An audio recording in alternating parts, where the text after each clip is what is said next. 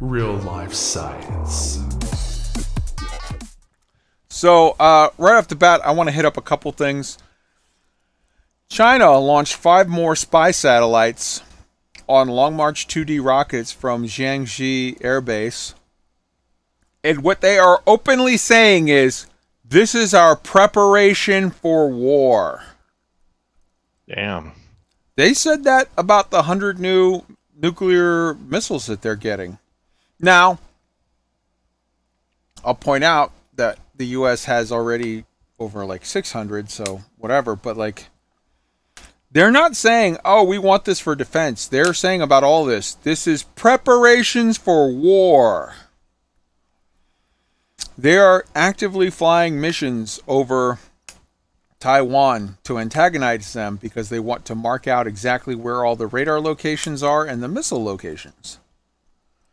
This is not saber rattling, and I feel like everyone is just like, "Oh, China, that's so quaint," and ignoring them, and it's like, it scares me that they're saying, "No, no, we're getting ready for war." Um, I'm going to skip the Cassini one because I know that Tweaked is doing a thing on that. Scientists have detected possible proof of plate tectonics on Venus. This is huge. This is very, very big. Um, check out Space Time with Stuart Gary, the episode from July 14th, 2021, season 24, episode 80. It has details on that. Um, you know, the moon and Mars, the, the core has cooled down and the mantle and the crust have cooled down to the point that they've gotten thick and they can't have sort of tectonic activities. Not so with Venus. It doesn't look like it does for us because Venus has pressures of over 900 times that of Earth and temperatures of over well over 400 degrees Celsius such that the surface temperature of Venus melts lead. But they still have what we're now seeing as like hey this is legitimately tectonic activity. This is this is this is interesting and the last thing i want to hit on mine is the sun emitted its first x-class solar flare of the solar cycle 25 the most powerful um, um, solar flares which are the x-class it it came from uh, sunspot 82838. It was triggered. Uh, it triggered two CMEs, which are coronal mass ejections. Thankfully, that even though so the way that it, uh, a, a X class solar flare works is that it travels at the speed of light, but the coronal mass ejections go much slower. So by the time the coronal mass ejections came out, they were actually aimed away from the Earth, thank God. Uh, mm. But the NASA Solar Observatory caught it. Uh, the actual pulse X rays created a uh, magnetic uh, crochet that ionized the Earth's upper atmosphere. It caused massive radio disturbances. It started to push away the magnetization, uh, magnetization, sorry, of the Earth for a short time. This is the first since 2017, uh, which was you know so cycle 24 lasted for 11 years and then ended. Cycle 25 is now upon us, and scientists are just starting to put together really reasonable hypotheses that it could be that the cycles have something to do with the changing of the center of the mass of our solar system. So the Earth is 90 or sorry, the sun is 99% of the mass of our solar system. So normally the uh, barysphere, which is like the center point where everything in the solar system revolves, is inside of the sun. Not in the very very middle, but in somewhere inside of the mass or the area, the surface area of the sun. But every once in a while, you get a situation where Jupiter and Saturn are on the same side, they're close enough together, where it pulls the baryosphere of our solar system just outside of the internal area of the sun.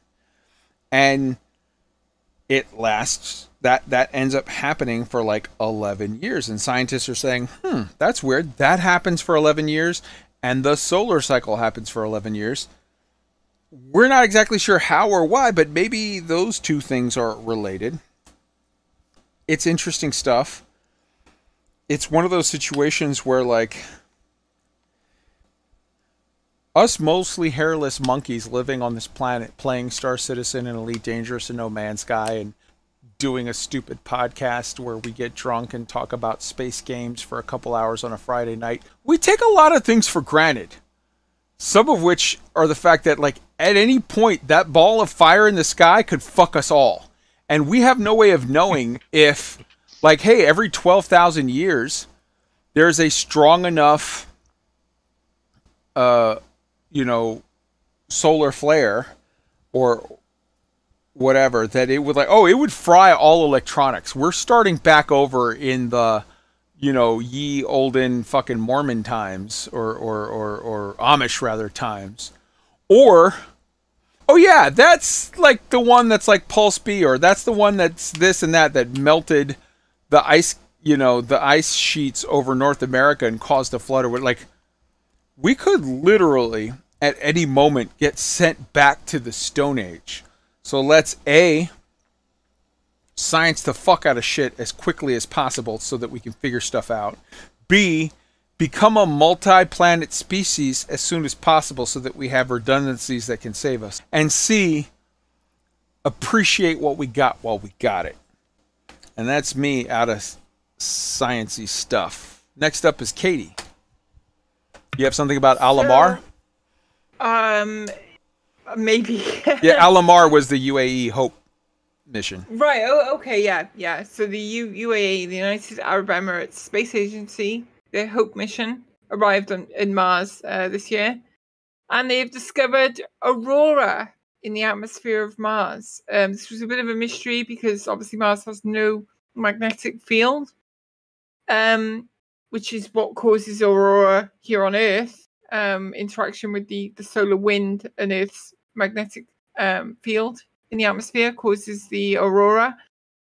Um, but the theory here is that it was the result of something called induced magnetosphere.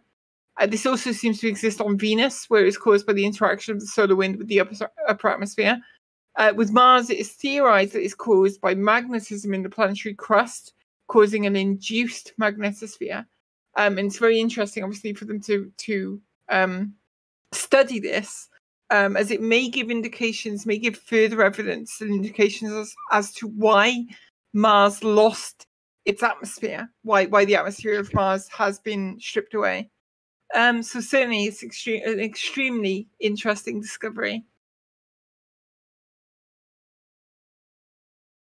Absolutely, that is so the United Arab Emirates sent up Alamar, which is hope. The Chinese sent up what is it, Tianwen one, and and and we sent up Mars 2020. Um, three awesome missions doing high level science, and God bless all of them. Good stuff. Roy, or was it? Nope, Tweaked is next. Tweaked, yeah, Tweaked's next. All right. Well, new study came out today with some interesting stuff. The methane wafting from the Enceladus may be a sign life teems in Saturn moon's subsurface sea, they're saying. In 2005, NASA's Cassini orbiter discovered geysers blasting particles of water ice into space from tiger stripe fractures near Enceladus' south pole. This material, which forms a plume that feeds Saturn's E ring, which is the planet's outermost ring, is thought to come from a huge ocean of liquid water that sloshes beneath the moon's icy shell. But there's more than just water in this plume, they found out. During numerous flybys, Cassini spotted many other compounds, eh, for example, dihydrogen, which we've been shooting a lot of in No Man's Sky, by the way, a variety of carbon containing organic compounds, including methane. The dihydrogen and methane really intrigued the astrologist because H2 is likely being produced by the interaction of rock and hot water on Enceladus sea floor. Suggesting that the moon has a deep sea hydrothermal vent, or many of them, hydrothermal vents, the same type of environment that many believe led to life here on Earth. In addition, the H2 provides energy for some of Earth's microbes that produce methane from carbon dioxide. Something very similar could be happening on Enceladus because they have found large amounts of carbon dioxide and methane in these plumes as well. So, what they're saying basically is a perfect storm of what they believe was the cradle of life here on Earth appears to be happening on the sea floor of this icy moon uh, or icy ring here on the Saturn's moons. Pretty interesting stuff and, and good info from this probe that's been going around. So, A uh, hundred I- I percent. just uh, life out there, possibly exciting. Hundred percent. Even more exciting. Like you're absolutely right, Tweak. That uh, what you're, uh, what you're talking about is a hundred percent true. That the methane, dihydrogen, and carbon uh, dioxide are all signs of the hydrothermal vents on Earth. But the difference is that the levels of methane far exceed what we get from hydrothermal vents on Earth. So the only reason why scientists can figure out, like, either A, there's something weird going on there which we don't have on Earth, or B, this is evidence of not only hydrothermal vents, but methagenics. Methagenesis is a well, I mean, there's two types of methagenesis. There's geothermal and biomethagenesis. Biomethagenesis are the single cell organisms, or and in some cases multi-cell organisms that, like you just said, was believed to be the original like life forms on Earth uh, that that we all evolved from eventually, and if it's like if the math holds up and it's like okay this is proof that there's either a something on enceladus that we don't have on earth or b that is the vents and the methagenesis that would be okay there is absolutely life on enceladus at that point now we have missions that are going back we've got the the uh, um,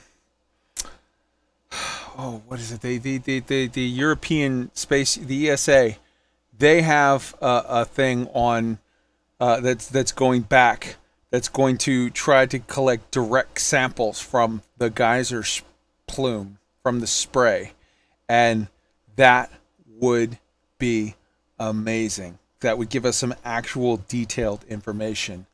Um, Wolf, you had something? So with with the possibility of life on Enceladus, um, the thought that I immediately had was this would be a great way to test uh, panspermia, i.e., we send a probe there, collect a sample, look and see what happens when we look for DNA, and if the DNA is similar to things we have on Earth, then that brings up a whole bunch of interesting questions about life.